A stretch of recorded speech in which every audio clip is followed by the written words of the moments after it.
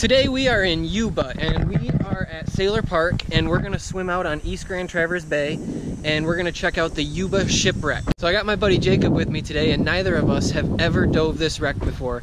Let's suit up and head out there and check it out.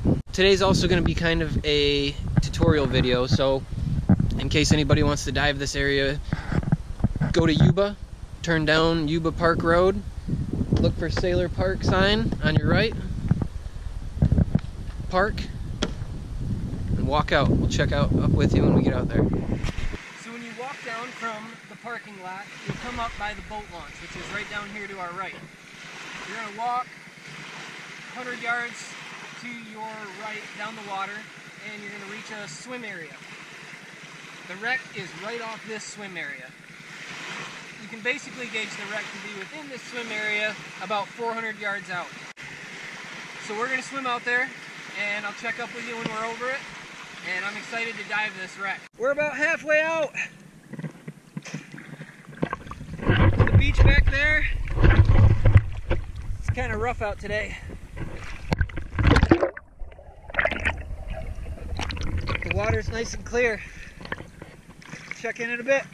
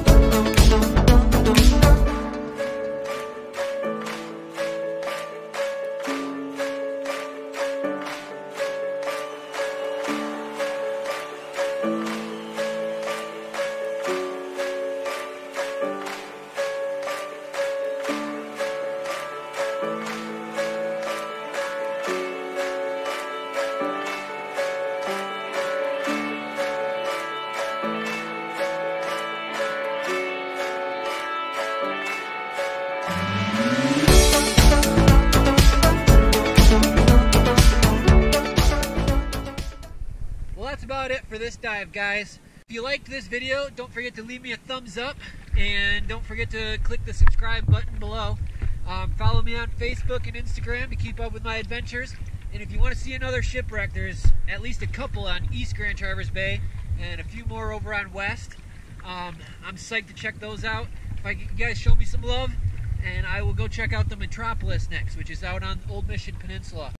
Also, in a couple of weeks, me and my wife Brittany are going to be shooting up to the Upper Peninsula, uh, Lake Superior side, and I know there's a couple wrecks up there. And if you guys show me enough love, I will get out in Lake Superior and dive one of those wrecks. All right, guys, we'll see you on the next adventure.